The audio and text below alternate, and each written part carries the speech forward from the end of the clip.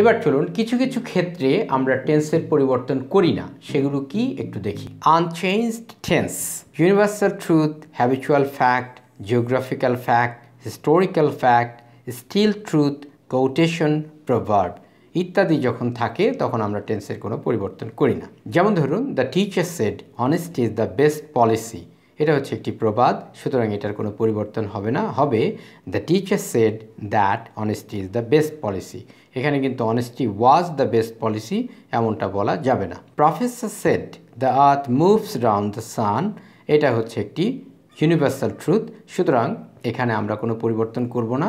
আমরা লিখব professor said that the earth moves round the sun the scholar said the more you read the more you learn সুতরাং এখানে আমরা লিখব the scholar said that the more we read the more we learn এই হলো speech বা narration সম্পর্কে basic কিছু জিনিস আমরা আগে শিখে নিলাম।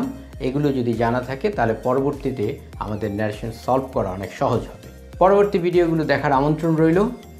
পরিশেষে দেশকে ভালোবাসুন, বিশ্ব মানবতার কল্যাণে কিছু করুন। ভালো থাকুন।